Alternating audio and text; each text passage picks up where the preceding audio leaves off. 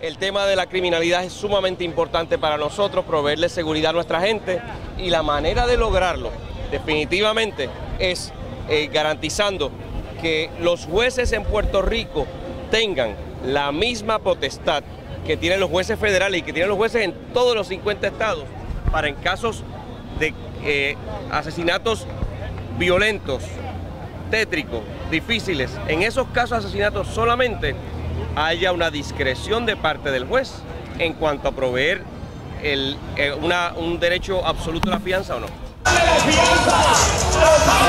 que salgas a votar mañana. De igual forma.